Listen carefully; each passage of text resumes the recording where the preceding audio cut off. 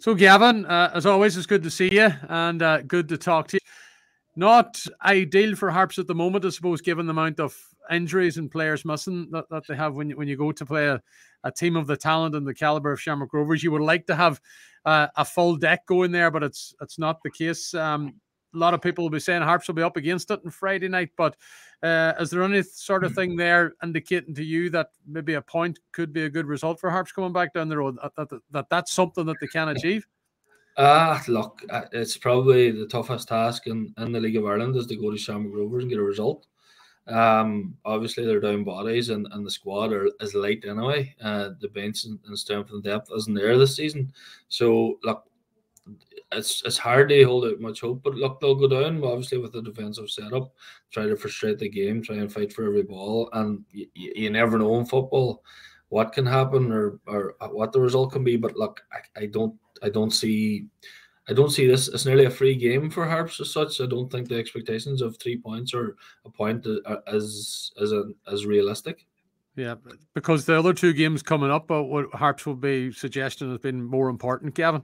Oh yeah, yeah. Look, UCD and Drogheda the next two after that, um, hugely important. They're they're the the, the six pointers, proverbial six pointers at this stage of the season. Even you know the way UCD are sort of being cut a draft. If Harps got a couple more wins, you know, um, they probably could be looking at yes, we're going to fight it out for a playoff spot with the likes of Drogheda, with the likes of Shelbourne, but um, uh, they'll be much more important games. Yeah, uh, is it the sort of game then against Shamrock Rovers that maybe Ollie might give a run out to some of the players that haven't seen much much action since the start of the campaign? Because when you see it on the television, there, there's a number of players there on the bench, and they are particularly young.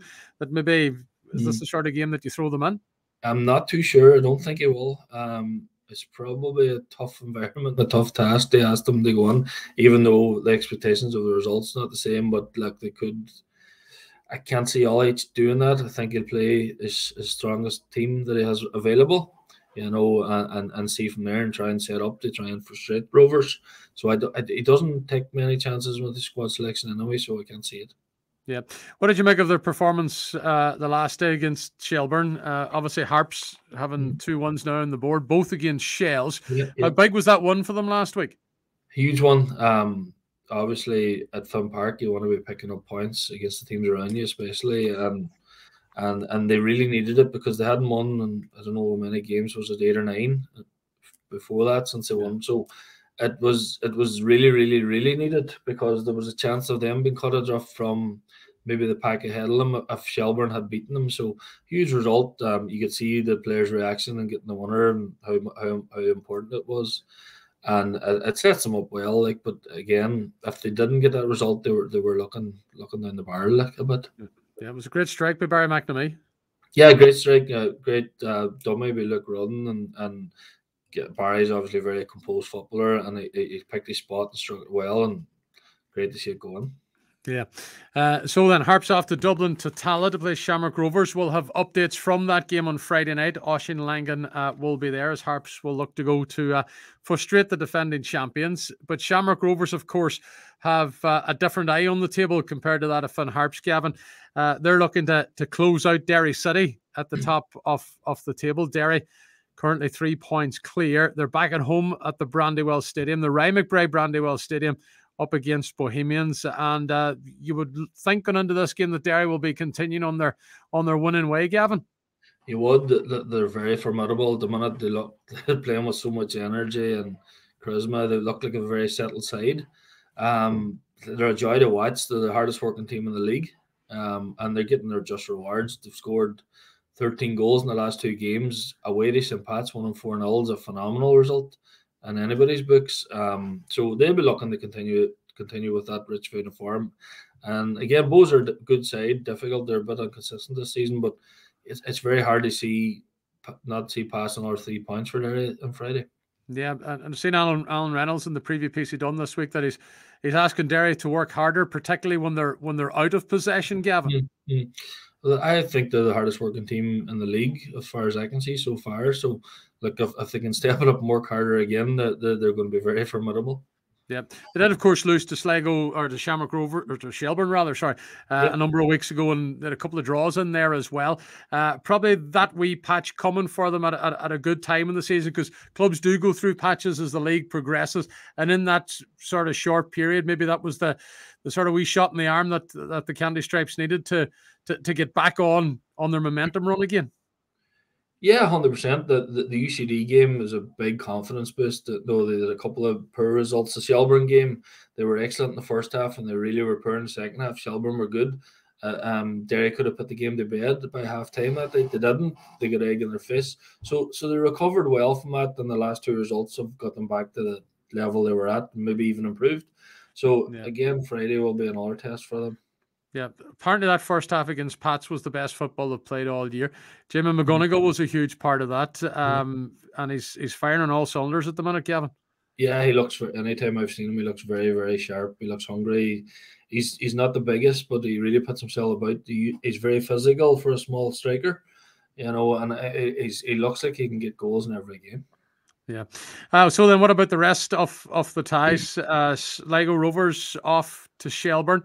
Rovers will be looking for three points on the road, but it's a big game for Damien Duff's side because they'll be looking to bounce back at the after that defeat the Harps. Yeah, they'll, be hugely disappointed. They, they've been they've been really inconsistent this season. Um, they've had some fantastic results, one on the Brandywell, and then obviously losing at home to Harps was poor. So they, they, they will want to get a level of consistency. You know, a quarter away through the season or so. So this this team and, and new, although it's a new team, it should be starting to get settled as well. So they find their feet. They probably are going to be in around mid table or lower, but it's very difficult to gauge them at this point. Yeah, and Dundalk have sort of been lurking outside the top two. They're up to third at the minute now, and uh, Dundalk, of course, had troubles over the last couple of seasons, but they're starting. Are they, Gavin, to get back into the form that that Dundalk would have been of old? Yeah, they're they're quietly going about their business. They're they're picking up results most weeks, and and and nobody's really talking about them. And the fact that they're third in the league shows they're doing something right. So obviously Stephen O'Donnell's come in and, and settled the thing and, and, and got a group working for him and and maybe a transfer window or two, they might be back up challenging for for titles again if it goes well. So look, it's good to see a Dundalk team going well because they have great support and stuff as well. Yeah, you would expect them to beat UCD on Friday, would you? Uh, you would, yeah. I think UCD are, are struggling. No, no. Obviously, in football, you never know, and and they're due a result. They're going to get a result some week, you know. Um, but they're struggling for goals. They're struggling to you know, create chances and stuff, and it shows the big step up between the two divisions, you know. Yeah, and I suppose from a UCD point of view as well, their team changes mid-season, doesn't it, Gavin? Because there's um there's players mm. moving away, haven't finished their scholarships yeah, with yeah. the college, and uh, so there's a bit of transformation there, which which if you're fighting at the bottom end of the table, can't be good at times. No, it can't. Look, there's pros and cons to that. Sometimes a freshness can help you. Um, obviously, they're better players coming out of their scholarships and the college degrees. They're they're going to move on to you know other League of Ireland clubs or maybe across the water. So they obviously lose their better, more experienced players at that stage. But they take in the freshness and they take in new players. It, it, it takes, suppose, it takes a bit of pressure off the management and, and that side of it in terms of relegation or fighting relegation. That expectations are slightly different than they are in other football clubs. But at the same time, um, know, knowing the management team and stuff, they they want to do well and they want to progress and they want to push on. So it's it's it's difficult for them. It's it's very difficult and, and it's very hard to see how they're going to climb the table at this point. Yeah, one other tie. Drogheda United against St. Pat's.